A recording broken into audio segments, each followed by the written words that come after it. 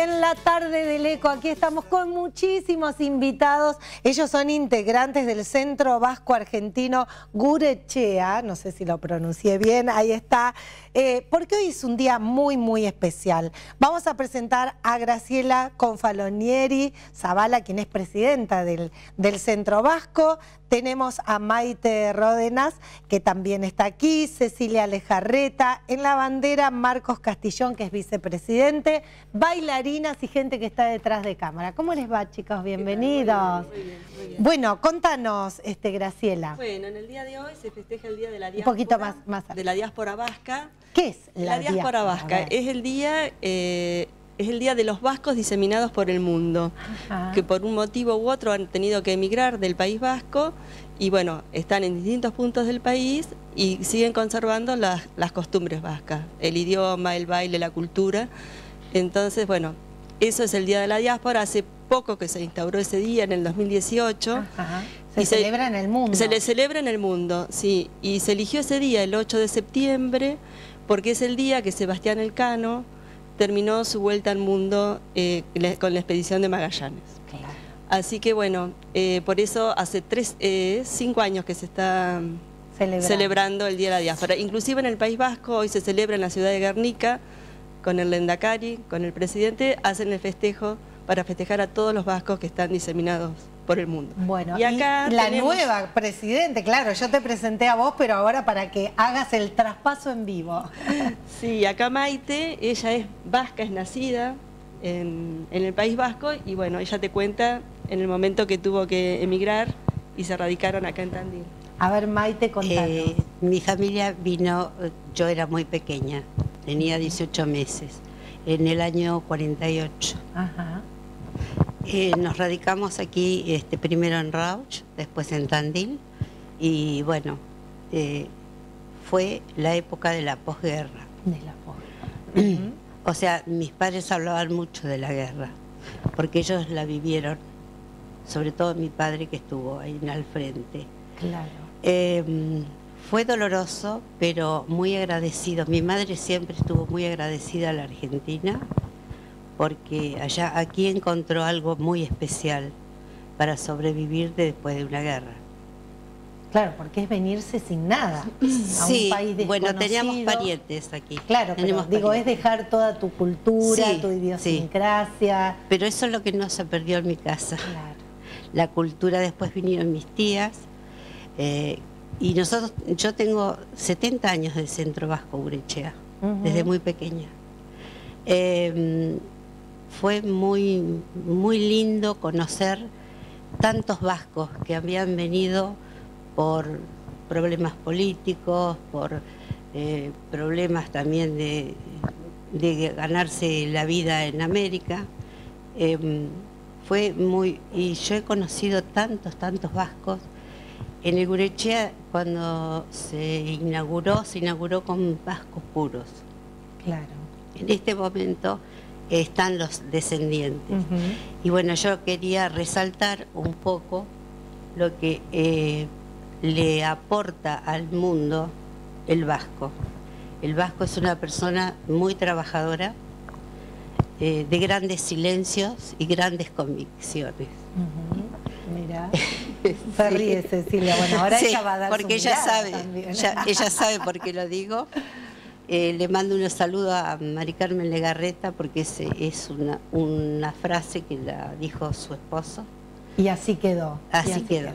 Bueno, Cecilia, contanos, este, vos también desde, desde hace mucho participando aquí en Tandil y esto de agruparse es no perder las tradiciones en el caso de Maite directo, pero de los descendientes también, es honrar un poco a los antepasados, ¿no? Caillo, Cecilia. Bueno, en mi caso, eh, yo soy nieta, bisnieta e hija de Vasco.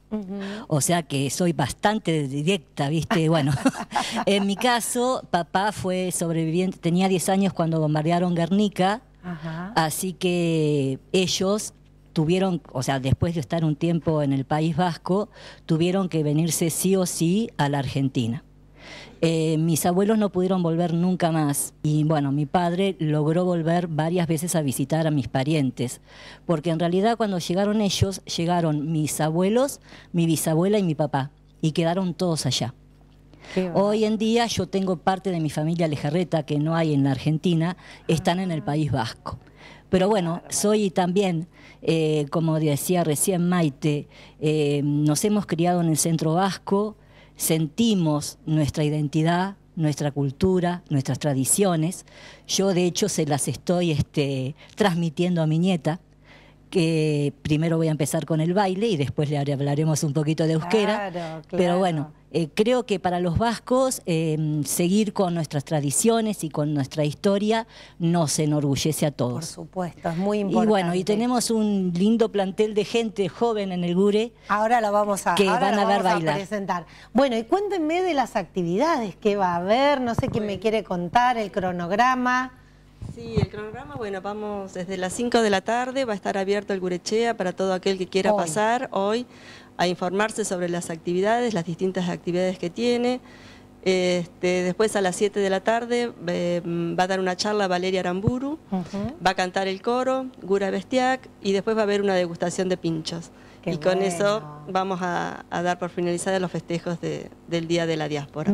Así que todo aquel que se quiera acercar hoy al Centro Vasco Gurechea va a estar el Centro Vasco de Puertas Abiertas para todo aquel que sea, quiera. entrada libre. Entrada libre y gratuita. Qué bueno, qué bueno.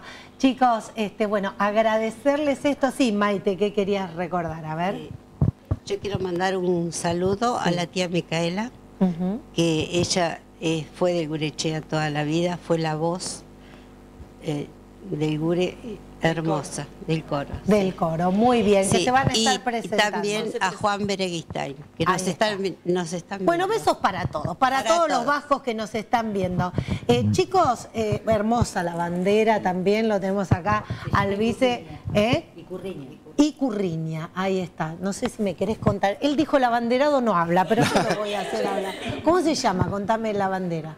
Icurriña se llama. Icurriña. Bien, y es un orgullo llevarlo. Y sí, tal cual, exactamente. ¿Cómo, ¿Cómo es tu legado? Yo allá en el Centro Vasco soy más soy joven, no por edad, no por edad, sino en, dentro del Centro Vasco. Tuvo mi abuelo, mi padre. Sí. Yo después tuve la oportunidad de viajar allá al País Vasco, estuve 10 años viviendo. Ah, qué lindo. Y en el 2013 cuando vine... Em, Trajiste todo. Claro, la forma de agradecer de haber todo ahí es estar en el Centro Vasco ahora. Y están los nenes míos y bueno. Me parece muy bien. Bueno, yo me despido de los invitados de acá del Living. Ponemos una musiquita porque tenemos el plantel más joven que ha venido a bailar. Así que musiquita y nos vamos con ellos.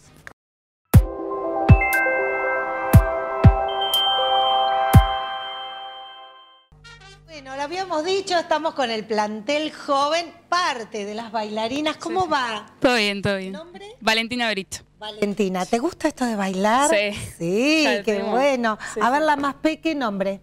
Maren Almeida Castillón. ¿Cuántos años tenés? Casi 10. Casi 10, muy bien. ¿Faltaste a la escuela hoy? No, no faltó, bien a bailar. ¿Y por qué te gusta bailar esto? Las danzas vascas? Desde chiquita voy a bailar. Qué lindo. ¿Y tu nombre? Lourdes Peirano. ¿Cuántos años, Lourdes? 16. Muy bien. ¿Y también acompañando? Sí, desde siempre, desde chiquita y para llevar el, el País Vasco. Me encanta. Bueno, nos van a hacer un bailecito a las chicas, así que las vemos y compartimos.